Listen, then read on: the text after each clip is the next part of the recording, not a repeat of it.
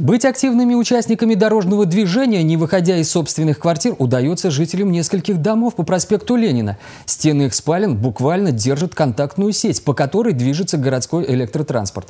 Сотни троллейбусов ежедневно сотрясают ветхие хрущевки. Люди напуганные пишут жалобы во все инстанции. С проблемой людей на месте познакомился вице-спикер Государственного совета Олег Мешков. Неприятные ощущения начали беспокоить жителей квартала в центре города около двух лет назад. Жильцы рассказывают, во время сильного ветра они не просто слышат шум проводов, но и ощущают вибрацию в собственных квартирах. Мы э, при обходе дома увидели, что наши дома э, дали трещину, то есть несущие стены домов дают трещину и с уличной стороны, где анкерные тросы, и со стороны двора. То есть анкерные тросы прикреплены к несущей стене дома. А это, как правило, идет движение всех стен. Даже в квартирах действительно вот замечаешь, что плиты, двигаются плиты. То есть э, идет разница между плитой, допустим, в прошлом году не было заметно, а сейчас увеличение движения плиты идет, и трещины увеличиваются, трещины в подъездах. Специалисты троллейбусного управления утверждают, беспокоиться людям не о чем. Тросы зафиксированы по всем правилам. Однако отмечают, разрабатывались эти правила еще при царе Горохе. Эта линия она была построена в 1964 году согласно проектной документации и согласно норме правил.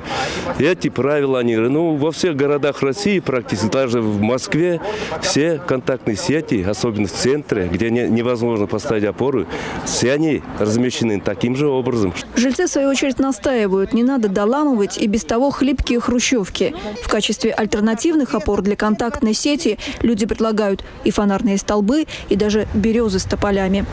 Мы должны также рассмотреть вопрос о том, чтобы э, эти опоры, все-таки же они были усилены. И на самом деле сегодня э, менять эти э, как бы опоры тоже проблематично, это финансовые затраты. И сегодня мы должны э, четко знать, э, как мы можем их укрепить.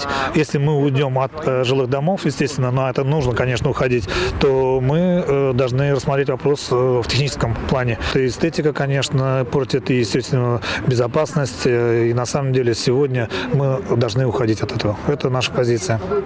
Заместитель председателя Госсовета Олег Мешков, который уже знаком с проблемами жильцов этого квартала, уверен, проблему необходимо решать немедленно, пока конфликт не разгорелся во всю силу. Сами троллейбусники это тоже должны понимать, значит, что э, они, во-первых, закрепились или там уцепились за э, квартиры, которые являются уже собственностью.